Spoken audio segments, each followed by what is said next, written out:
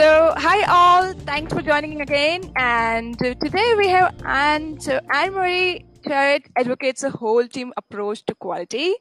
Uh, she says we can't predict the future, but we can prepare ourselves to be able to deal with the change, to develop strategies that facilitate rapid learning and the change. So let's understand how. Over to Annie, uh, Anne, sorry, uh, stage is yours. Thank you so much, Pooja. Um, welcome everyone. It's so fantastic that we finally made it here, right? I mean, my goodness. Um, I want to thank all the hardworking uh, organizers. Uh, it's certainly a huge thing to shift. Um, you're expecting to go one down one path, and suddenly your whole world changes, and you're having to organize a conference online. So I think, you know, they've done an amazing job, and I just want to uh, thank thank them all for for uh, helping us get ready for this. Yeah. So, you know, what a what a year. How crazy is this? Um, when I wrote the abstract uh, for this this talk, I was thinking of 2019, and I was thinking of what a crazy year it was. I mean, we had gone back, we had gone through this terrible bushfire in Australia.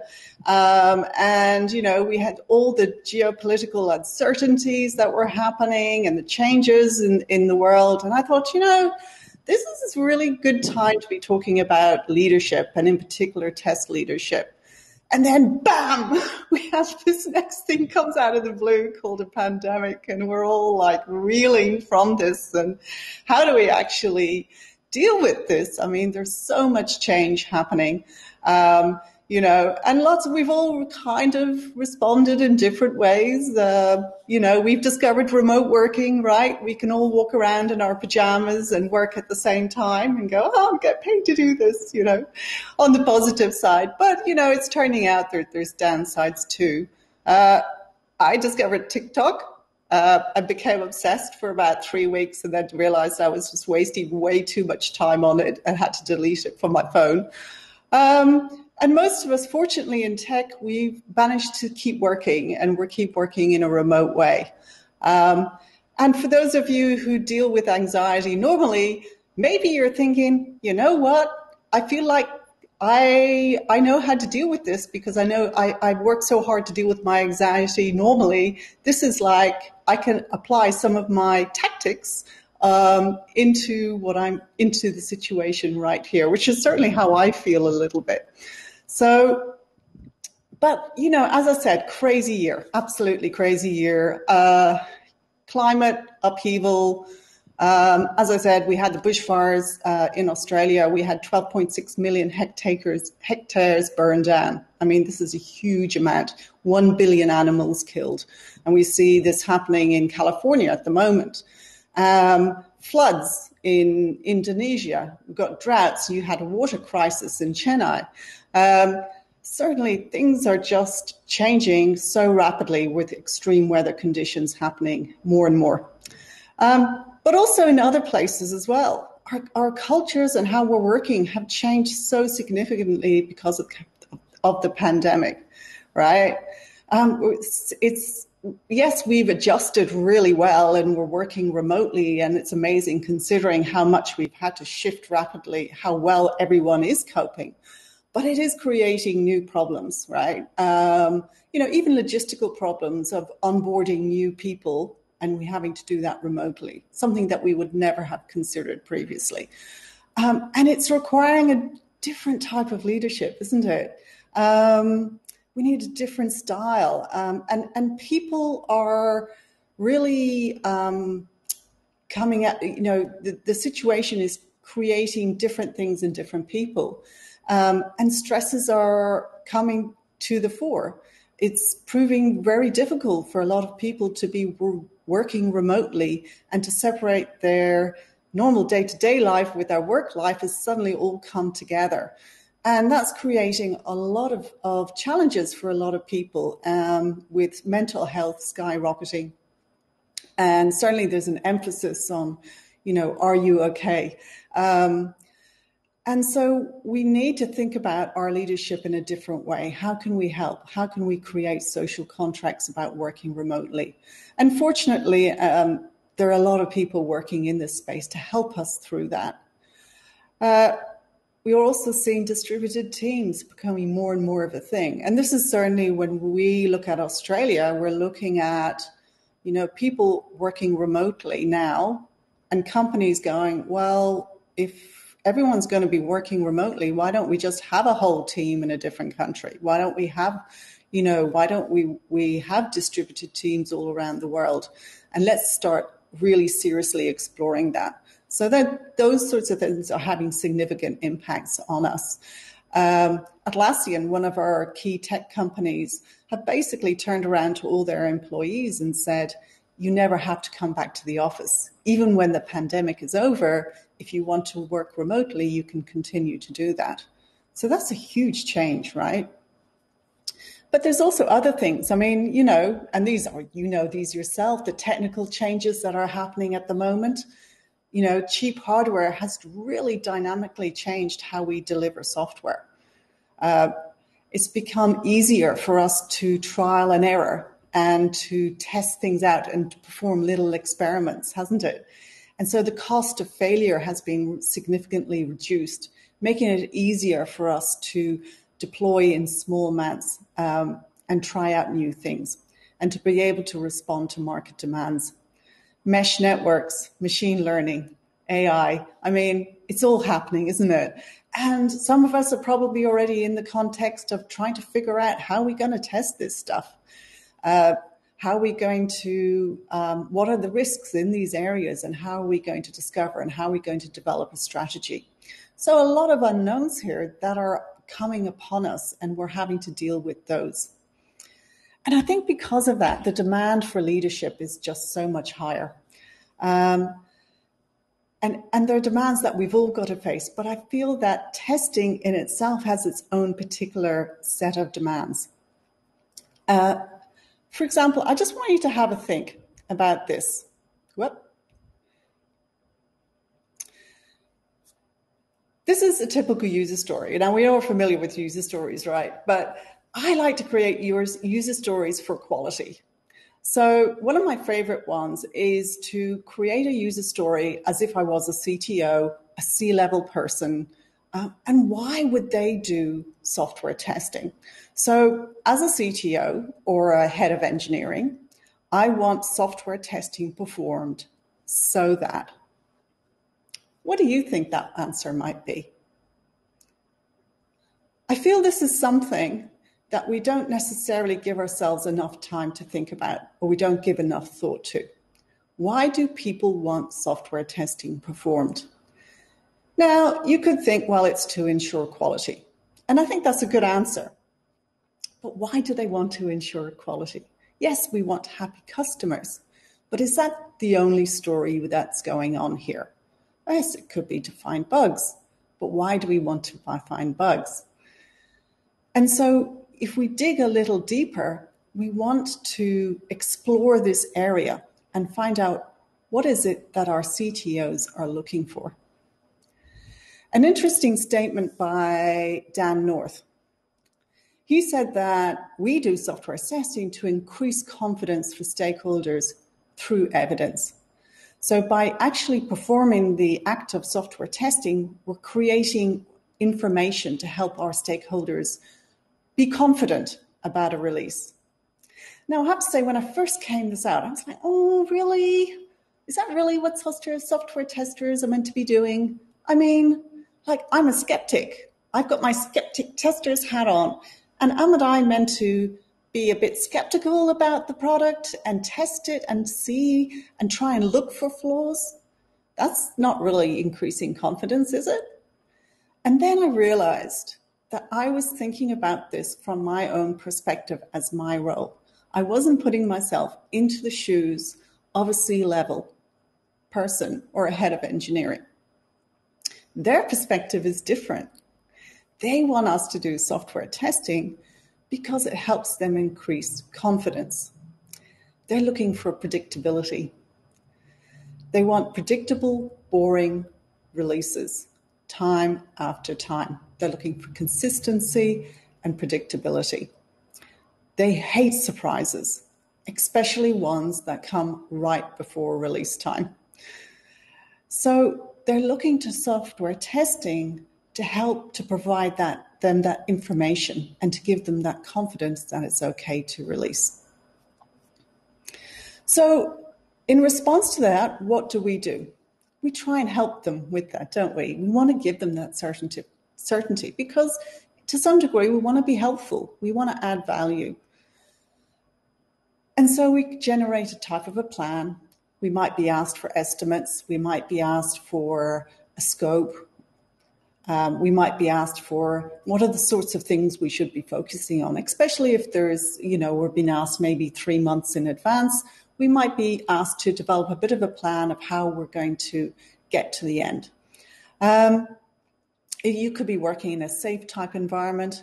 If you're not working in that, you're doing multiple deploys a day, you might have less of a, of a formal plan, but you still might have a mental plan in your head that you've got a vague idea of how much time things are going to take and, and how much you're allocating your time in order to do some testing.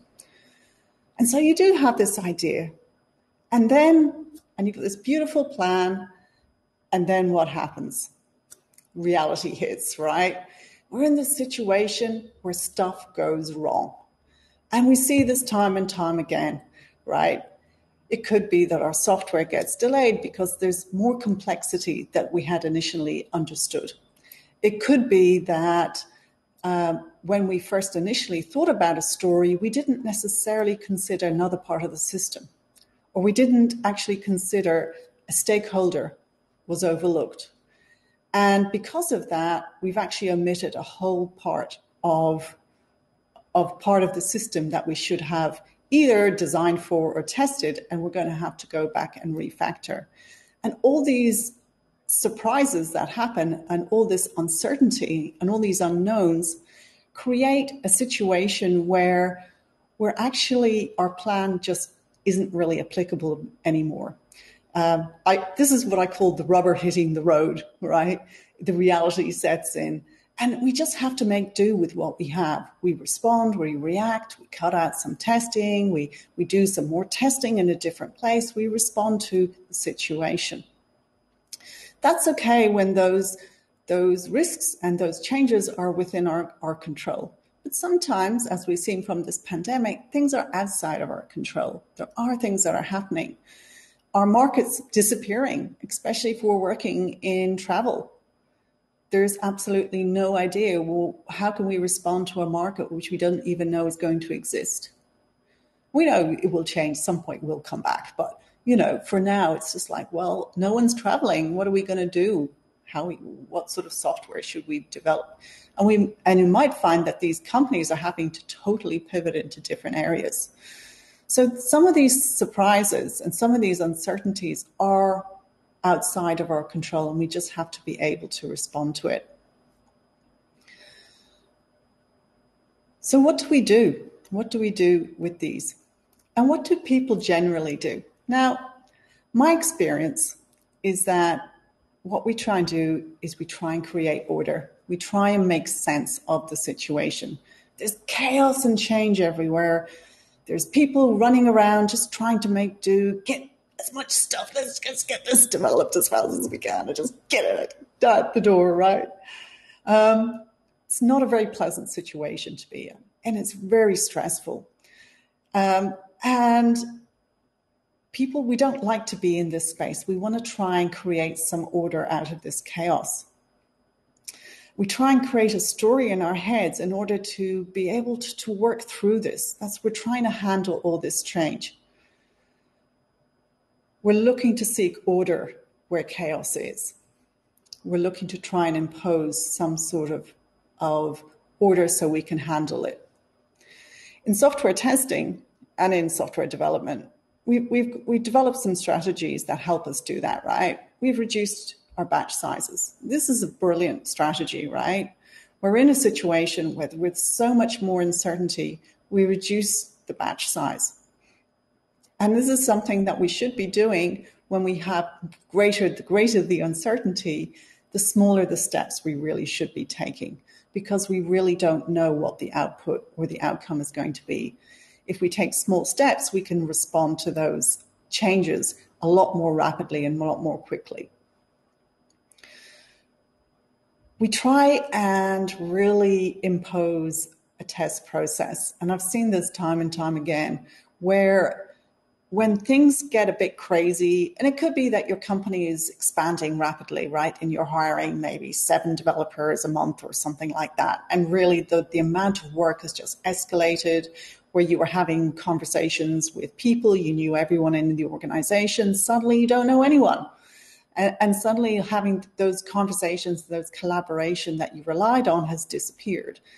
And so people naturally start to think, okay, well, this is, we need to put, impose a process here because things are not working. We need to think about a different way.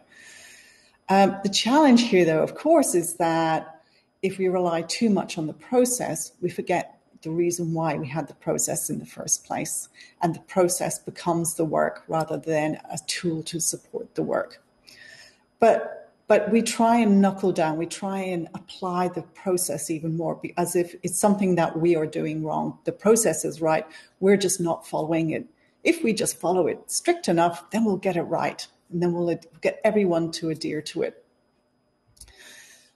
Often a response is we need to test more. Right? this is really hard because you know that's really really expensive to test more and we need to maintain all that code. These are things that you absolutely know yourselves that the cost of testing is high. It, there's a cost to, to designing a test there's a cost to implementing it executing it but responding to the information that you get from a test. So every test has a cost. So just to say, let's do exhaustive test coverage to reduce risk is a really expensive strategy to adopt and not necessarily one that's useful for everyone. We try and get better at predicting estimates, right? Clearly, you know, we're asked to provide an estimate, things change dramatically, and clearly we have to try and get better at estimating. And so the focus is how can we get better? How can we get our estimates more, ac- more accurate than before. And we try and put metrics in place, right? We obviously don't know. We need to put met- metrics in to just impose and make sure that things are working the way they're supposed to do. And we'll start benchmarking stuff to, to, to so that we know whether it's okay and we can control it. Really, this is all forms of micromanagement, isn't it? I mean, there's that, that tendency for us when things go out of control of our ability is to hunker down and try and control things. At least that's my tendency anyway. Maybe you're, maybe, maybe it's not for you. Maybe it's you, you respond in a different way. But certainly that desire to kind of be able to control things more and more is something that I've seen. We've got to try and avoid this though, right? We want to try and avoid predictability. We've got to try and embrace uncertainty here because things we can't control the outcome of everything, but we can respond in a way and we can learn from these situations. Um, we've got to learn to embrace this rather than trying to control this. So here's some ways that I've sort of thrown together. We want to look at rather than actually giving people absolutes. So think about estimates. We don't want to necessarily give people absolutes and estimates. Consider trying to give people ranges rather than providing one, one um, estimate. Think about sharing information about the nature and unpredictability of software development. Software development, as we all know, is really, really hard. And this concept that we can actually create accurately predict and measure something that's incredibly complex and is changing is not necessarily always accurate. It might be work for some projects who work in contexts that are pretty much not changing very much, very stable. You might be able to be much better, easier to, to make an estimate in that context. But when you've got high change and a lot of unknowns, it really doesn't make sense to predict a long, uh, uh, far ahead of us to predict that. We, we need to get thinking about predicting in much shorter terms or trying to focus more about learning rather than providing absolutes. I like to talk about providing information as opposed to pass fail. So, talk about potential risks and what did we learn from the testing as opposed to 600 test cases failed or passed. We don't want 600 test cases failing. That would be bad. but, you know, thinking about that, thinking about how can I provide value in terms of information as opposed to absolutes. I find holding, thinking about, taking a step back, thinking about what quality is and having workshops about that. Start thinking about, you know, what are we actually trying to achieve here? Take a step back and think about why are we doing software testing? I try and encourage people to do this thought exercise that if you never did, if you ne- if you were not able to do any software testing for some reason, whatever, I don't know. Um, but if you could never, if you couldn't do software testing, how would you know that you have quality? Because there are alternative ways that we can think about and look about obtaining quality. And it could be that we are thinking about that more at different levels of abstraction, or that we're looking to find other ways of knowing that we have uh, have quality apart from formally trying to test it. Again, thinking about what did we learn over whose fault was it? Looking to learn about situations as opposed to saying that I'm going to provide you all this information and thinking experiments. And finally, one of the things is I can't help but give a little nudge to exploratory testing because I really think that when you have a lot of uncertainty around you and you have a lot of unknowns, exploratory testing is amazing because it's so rapid in its response. You can, on the fly, change your test or change your test design and respond to the situation based on the information you've just learned. That doesn't mean that we can't use any tooling in that. Of course, we can use tooling.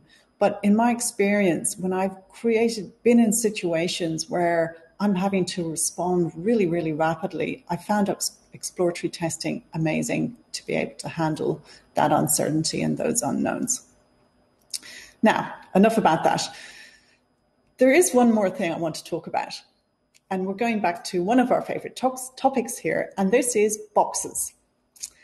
Because if we face it, we love boxes in testing, right? We love black boxes, we have white boxes, we have gray boxes. You know, we love our boxes. Um, it helps us to explain what we do. It helps us to explain testing, different types of testing. It helps us to convey information to people who don't necessarily have that much information about testing. Um, but there's a problem here with boxes, is that by describing the box, we're actually also fixating people on that. So if you describe testing in terms of a black box, then that's what people think that, okay, well, this is what testing is. And sometimes it's hard to think beyond that. Now, there's lots of other different types of boxes that we have in testing too. For example, we might see ourselves as a specific type of tester. You know, I'm an exploratory tester or I'm a test automation tester. That's a kind of box too, right? Now it's a very useful box because you can explain to someone else what you do. But on the other hand, it's also limiting you too, because you're putting your identity against that type of box. And then when people see you, people will say, well, you're that type of thing. And the challenge here is that when you create this mental model of the type of testing that you do or the type of test tester that you are is that people start limiting what they think you can do because of that. Now you know you can do way more than test automation. You do you know that you can do way more than exploration or your black box, you can do gray box, you can do it. But the trouble is is that other people are not seeing that because it's easy for them. They're stressed, they're busy, they're rushed. They don't want to think about the nuances around, well, what, you know, what else can be done. They're like, oh, you're this type of person and you're this type of tester. And, you know, I'm a really busy person. I don't want, you know, I don't have time to think about this differently. And so you'll find that often people will narrow your your ability to do something or your approach based on this. So, you know, they'll be thinking maybe that you'll do three you'll do three acceptance criteria of a story and that's your role. Not realizing that you could do way much more testing beyond that. And that you could be looking at exploratory testing of systems or you could do test automation of, of a whole system. We want to help people shift out of this right? We want to avoid this type of fixation. Um, within from other people, but also within ourselves. Because I think sometimes we allow these boxes to limit ourselves to and our ability to think differently. Um, and sometimes we're limited because we think, oh, I'm not good enough or I'm not confident enough and I don't know what to say. These are boxes, we've put ourselves in a box too in that way. So we want to think outside the box. We want to shift people's mental models, right? So we can have an open discussion and explore different opportunities that might help us embrace the uncertainty. I want to shift the conversation. One of the reasons why I have personally stopped talking less about testing and more about quality is because of this. Because what I see is that when I talk testing, people think test automation, functional testing, that's it. But the reality is, is that I'm talking about a lot more. And I want to be able to explore those things. By talking about quality and by exploring about what quality means, I am opening up the conversation to different areas that people might not have thought about before. Some things that I, I look at is thinking about maybe speed. We'll come to that in a minute. Speed as a quality attribute. So here's some examples of how I try and shift the conversation. One of the things I like talking about is outcome over output. Now, you might hear this spoken quite a bit, actually. Um, a lot of people are talking about outcomes, especially in the product space. So, and by what that is, what I mean by this is about thinking about, rather than thinking about, have I done three acceptance criteria or have I completed my tests? What you're thinking is, what is what is the purpose of doing that? What are, what is my C-level hoping to achieve from those outputs? And how do I know that I'm achieving those outcomes instead of focusing only on the outputs? For example, here we go.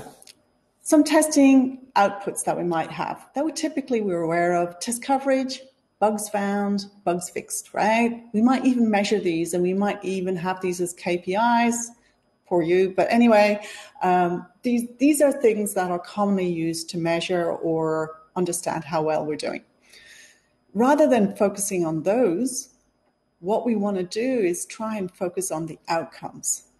As we talked about previously, is how confident are we to release?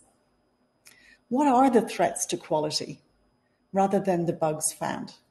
What other threats exist out there? Is it just functional how are we doing on our security testing anyway? What other ways could we be doing testing? Are we really testing early enough? And then, what is the state of quality at this point in time? Even talking about the state of quality rather than at one point in time, but thinking about it as a trend. So that would be really interesting too. Another area that I like to talk about is recovery over perfection. Again, this idea that we're focused on one release, but in reality, we know we're not. We're going to have release after release after release after release. And trying to get perfect software out the door all the time in that way, when you've got massive uncertainty, loads of unknowns, is really just keeping your fingers crossed and hoping things will work we want to start thinking about how can we recover as opposed to getting perfect software out the door. Now that doesn't mean we don't care about beforehand. We don't we stop testing. That we still want to do really great testing. But again, the complexities that we have in our systems, and if you think about microservices and mesh networks and, and all the different all the different technologies are only making the systems that we have more complex rather than easier. And that complexity comes over into our testing. So rather than trying to ensure that we have great quality, how about we focus on being able to recover from faults really quickly? And that means shifting our thinking about testing in production, but also having greater observability, greater visibility into how our systems work. If we can rapidly find the root cause of a system, we can rapidly fix it. Now, we all know end to end bugs are notoriously difficult in order to find the root cause. So, how about thinking about designing our systems so that we make it easier to actually identify where that root cause is? So, immediately we've opened up the conversation rather to getting our software testing perfect, but thinking to more about designing our systems that will enable us to recover from them quickly. Another area that I've been exploring with is what I call fix over find. Um, and this came from this, this situation. This was a long time ago, but I was trying to explain to somebody what I did in my profession. Now, this person was not technical at all. And I was trying to explain, I'm a software tester and I find bugs. And he just went, okay, well, hang on a second, hang on a second. So it's like this. I have a bicycle and it's got a, it's got a puncture in it. And I take it down to the garage and I say to the garage, I've got, you know, I need this, there's a punct, I've got a puncture. You take the bicycle, you take the tire, and you do a lot of work finding that hole. And then when you find the hole, you walk away. And it really made me think, you know, I was like, well, there's a lot more to that than that. Software is really complex. But then I thought, you know what? That's the reality is that our role to some degree is only about finding. Now, this is a really important and a really difficult role to perform. Finding bugs is hard, it's hard work. But the actual reality is, is that we find bugs in order to have them fixed. We want to be focusing on how are we delivering value to our end customers? How can we actually get value out the door as quickly as possible to them? And if we think about can we possibly find and fix the bug with the technologies we have in place? We've got change control, folks. We can always revert back if it doesn't work. We can pair with developers if we're not confident about fixing. We could start looking at fixing simple type bugs and then moving more, getting into more and more complex areas. But I would love to see people exploring this a little bit more and finding out how they can incorporate fixing. Because I can tell you, I can't think of many C level people who wouldn't think that's a good idea. Okay, I know I promised to talk about leadership and I haven't hardly talked about it once, but this stuff I think is important. So, as I said, leadership in this time is more important than ever before. We need leaders to help us through this uncertainty. We need leaders to help prepare people, organizations, and systems so we can respond and less react to the uncertainty in a productive way. And we are the quality people to do it. We have the most experience about testing software. We know the complexities involved in trying to deliver quality software out the door at speed. So we are at prime position to be able to help in this space. How are we going to do that? Well, first, let's look a bit between test leadership and test management because I think it's hard to actually describe what a test leader is. Now, personally, leadership is a very individual thing, and I think that's why that's one of the reasons why it's difficult to explain. But I love this quote from Kotter Managers promote stability, leaders press for change. Because there is a slight difference between test management and test leadership.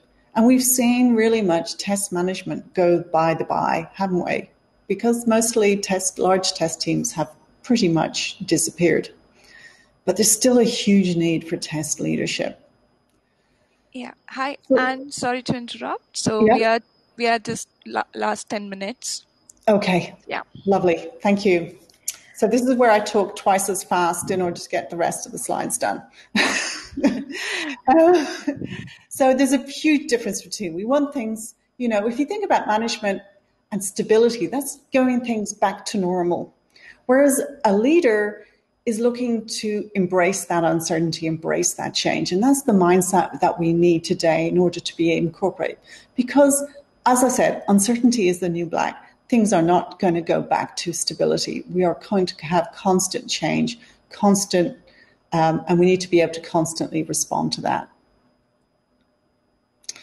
Now, the key thing for me that I look into this is that we really have to take um, an acceptance here. Before we can do anything about embracing change and changing and moving and, and changing and having a vision for the future, we need to re- recognize the reality and acknowledge what it is. We don't know. We don't have all the answers. And I don't think leadership is knowing is about knowing what to do. It's actually about recognizing that you don't have all the answers and being okay with that and being open about that. So if you're thinking about test leadership, I'd encourage you to accept that um, and and accept that maybe it's okay not to know everything. Now, we might feel a little bit discomfort over this, right? Um, it can be hard to accept that we don't know, and it might not feel easy. And we, and we strive to have answers and give ourselves answers and give other people answers because it makes us feel a lot better. But I really believe that having this un- having this acceptance is the first step because then we can we know where we're at. We can see the reality for what it is. And once we see that reality we can start working to the future.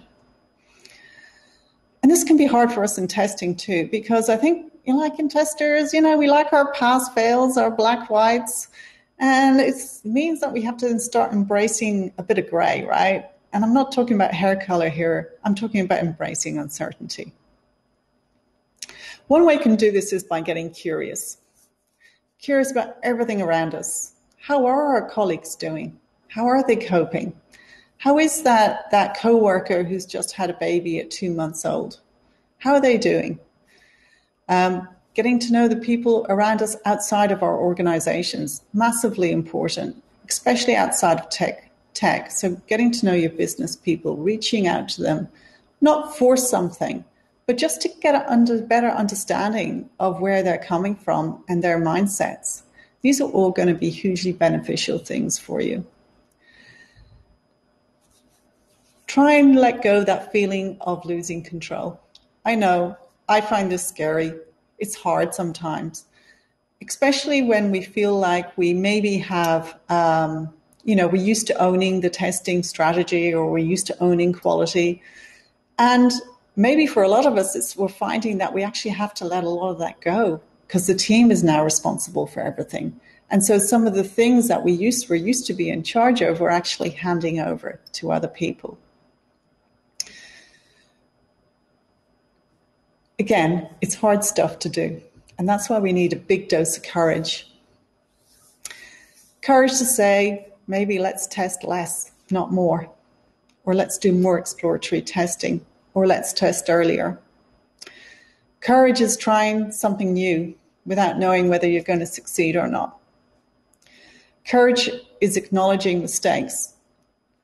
Courage is speaking out. Courage is acknowledging your humanity, your imperfections, and your limitations. I'm talking to myself here. Courage is letting people help you. Courage is taking time to breathe and say, enough. These are hard times. I think we should be have the courage to be kind to ourselves as well. On a more practical level, vision, strategy, alignment are some of the key things that we want to be looking at. Having a vision of where you want to be, having a strategy that helps that, and then alignment, I'm talking about making sure that everybody knows what your strategy is and also how it's changing. Now, when I talk about strategy, I'm not necessarily talking about a testing strategy. again, I avoid trying to talk about testing strategies. Instead, I like to talk about quality strategies. Quality strategies for me open up a whole field of things I can discuss, right? Quality of the product, quality of how we deliver that product, quality in production, quality in ops, quality of infrastructure, our processes, our people. There's so many different things that incorporate into quality. It allows us to suddenly have a much broader field and discuss things. One of the things I really like is Kent Beck's discussion on the three X's explore, expand, extract. Explore is when we have an unknown, so many unknowns. We got loads of uncertainties. We don't know what to do. We do tiny little experiments and we learn from them until we get a point where we learn enough and we know that, hey, this feature might be, is the one that we want to go. And then suddenly we want to grow on that feature. We choose that one product, we choose that one feature, and we want to scale up, right? And so we have this chaotic time where suddenly everything's expanding. You know, we're trying to scale the number of subscribers, we're trying to scale the number of developers. We're in a rapid growth phase. And finally, once we've actually managed to scale, we get to the point of efficiencies, economics of return. And we're looking at how can we actually get efficiencies of our system. I would just leave this with you here for to think about what sort of a strategy, what sort of quality strategy would you implement for each of those different stages? For me, they would be completely different depending on because of the of the amount of uncertainty in those situations and because of what our clients or what our, our businesses are looking for in each of those. Again, thinking about emergent quality, thinking about quality as an emergent, something that's emerging rather than something in itself. And not focused only on product, looking at infrastructure, looking at process, people, and outcomes to help us.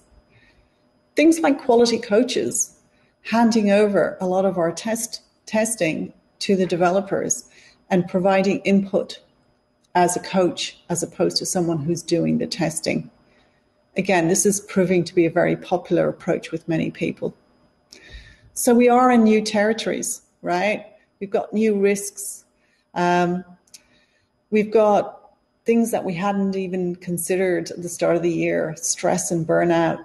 These are, these are big impacts into quality. Psychological safety, in my opinion, is one of the most important things when it comes to quality and understanding quality.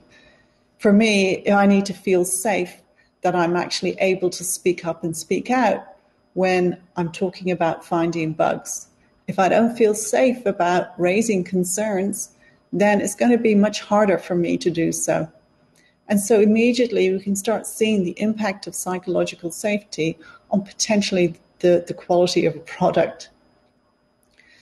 And so you see that really we need all these factors, all these pistons to be firing in order for us to have a great quality product. And so you could consider looking at all these different elements in order to be able to build a good quality product. Optionality is something else I would ha- have a think about. So often we get fixated on one solution. I would just encourage you to th- use Jerry Weinberg's rule of three.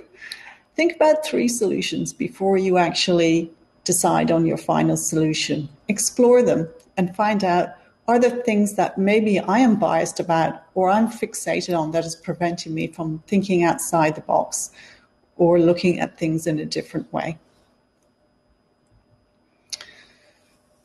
And finally, looking at habitat. I think this is one of the crucial things. Um, creating, as test leaders, we want to be creating an environment where others can thrive and grow. And when I talk, think about thriving and growing, I'm thinking about being able to self learn, right? To be able to learn about new things and to own that learning. Really important.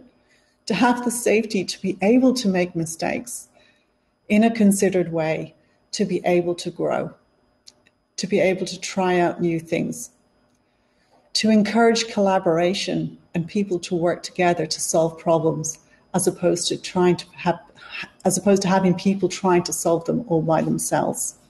giving people autonomy. And as you see, safety is so important, it's there twice.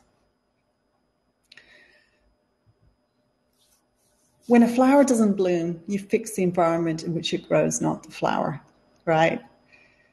So often we're fixated on trying to fix people, but really, what if we created a habitat where people would naturally thrive and grow? And just maybe if we create that environment, then people will feel, will be able to naturally grow and become more confident in what they do. A huge part of this that we that I look at is coaching. Coaching is an enormous part of my test leadership strategy. Not mentoring, not training, not consulting, but coaching. And the way I see coaching is, is for people to self realize and self learn. This means that you're putting people in situations where they don't have all the answers and they kind of have to figure it out themselves. That's part of it.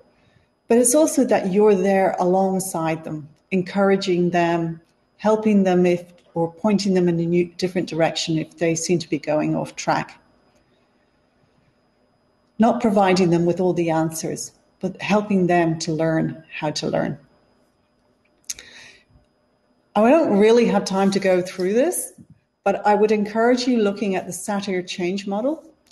The Satir change model is, is um, by Virginia Satir, uh, Jerry Weinberg used to work with Virginia, and really, it's just a it's it's a great model for how people potentially respond to change. So, if you look at the foreign element, something happens that you're not expecting. Maybe we'll call the foreign element a pandemic, right? And this puts people into chaos. The thing about the chaos, the chaos is a crucial part of people learning how to do things better. At some point, there has to be a transforming idea that helps them see that, you know what, maybe there's a way through this. And I'm sure each of us, each of you have had experiences where you've had this yourselves. And gradually, through owning this learning and going through the struggles, you actually get to a point where you're able to have a new status quo, where things are, are better and are improved. Um, as Michael Bolton said, we can expect the unpredictable. We can anticipate it to some degree. We manage it the best as we can. But ultimately, we learn from that experience. And my learning about being a test leader in these uncertain situations is this constantly reinvent your strategy create feedback loops in your strategy that allows you to refactor based on the information that you're getting back from what you're, you're doing. Are we hitting the right way? Do we need to change? Do we need to pivot our strategy? Do we need to do something different? Be open to that feedback. Make risk your guiding star. If you're not sure what to do, think about what's the biggest risk around me and go for that. Coaching, as I said, massively important. Push decision making down to other people. Don't feel like you have to own everything. Hand it out to other people and let them grow and thrive by doing that. And build external relationships with people outside of tech in your businesses. Learn from them. Try and understand what they want. This will help your, your vision expand considerably. And finally, it's okay to have a little bit of healthy tension and conflict. We can expect these times are difficult, um, finally, one that's not there is be kind to each other. Thank you very much for your time. Yeah, thanks all. Thanks, Anne. Um, it's beautiful learning. Uh, my favorite was uh, like collaborating, fixing the bugs. So, so thank you so much for uh, the the the minutes minutes of wisdom with us.